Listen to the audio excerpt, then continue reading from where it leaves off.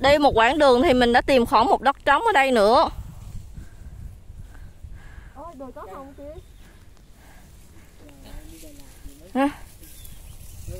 Đây cái lần khảo sát đang chuẩn bị tiến vào trong quãng đất trống này. Kết go. này lúc đi về hết hồn Sao giờ mình không có quên em theo luôn. Chai nước hả? Hỏi chị làm sao? Thắm có thể đi ra một xíu không? Với cái đầu chị thôi.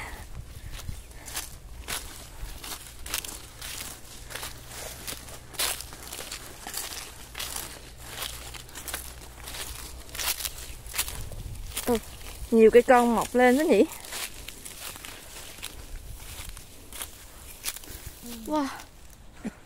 Đúng này, chỗ này thì mát hơn xíu này. Đây một cái cây nữa nè. Một cái cây đang à, chết đây này. Bạn ra kia nghỉ mát xíu.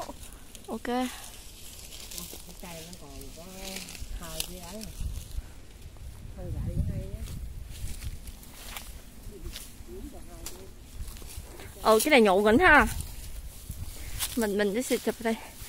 Ờ hình như nó đốt từ cái đây nhìn. Làm như tháp Eiffel nè.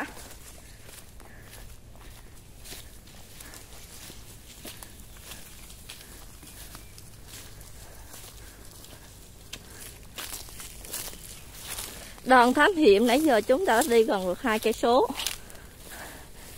Đang tiến gần vào trung tâm khu rừng. Các bạn có thấy mệt không? Không hả? Đúng là tuổi trẻ tài cao hả?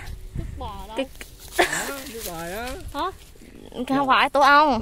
Ủa, kiến cất bò chứ đâu Ừ, cái cây nón em giờ lên đầu chị ơi, nó hút nắng ha. Nóng bỏng luôn. màu đen rồi màu đen.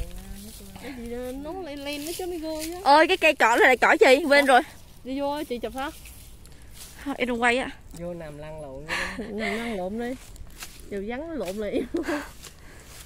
Đây cái đào đúng không? đây là cái đầu Cái đằng trước á. ừ, cây mà màu hồng không có lá màu gì. Ừ, ừ. đó đầu Đào lào á. Đây là dầu là lần đầu tiên mà mình thấy được cây dầu. Nó có đi rồi đâu ta. nó Không á. Cái tôi chỉ hả?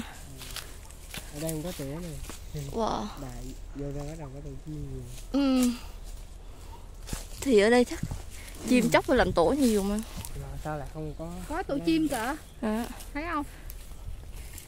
Đâu tổ kiến á chị? Tổ chim nè. Tổ chim cây kìa. Đây nè. Thấy không? À thấy rồi, thấy, thấy rồi.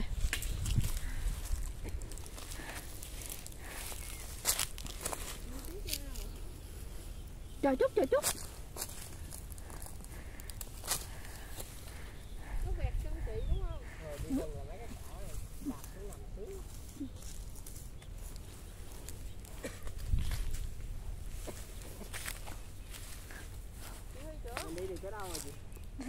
Chúng ta đang tiến vào trung tâm của khu rừng.